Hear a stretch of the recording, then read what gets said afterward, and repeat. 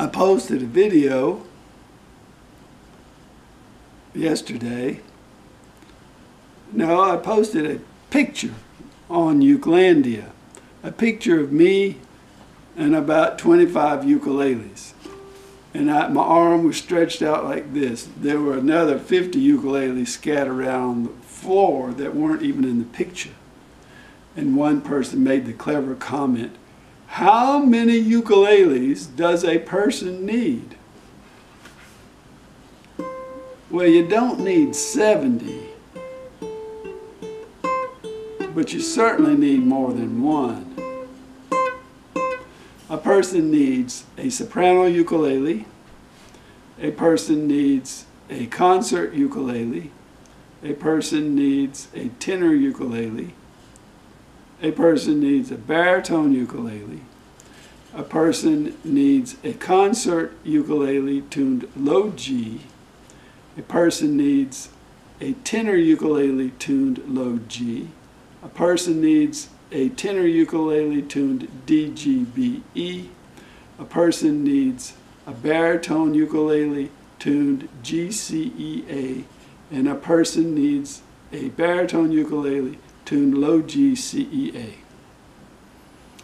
So a person absolutely, positively has to have 10 ukuleles. What you don't need are ukuleles that look exactly alike. You don't need ukuleles that do exactly the same thing. Why have two concert ukuleles tuned GCEA unless uh, one is electric and the other one isn't. For that matter, make them all electric and you won't have to worry about that.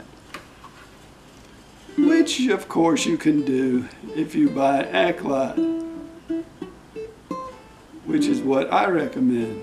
Of course, you don't want to have all your ukuleles Aklots, but you can certainly have the soprano, concert, and tenor electric. I would certainly go with those. And as far as the other makes, if you can get caramel, Kmise, maybe a kala or two, that would work fine. You don't need expensive ukuleles. You don't need a, a glossy ukuleles. They are very pretty but usually more expensive. Maybe have one out of your collection. So why do I have 70 ukuleles? Obviously because I've got a ukulele cha channel and I make income by showing off my ukuleles and I can't have just 10. Sorry. Thanks for watching the video.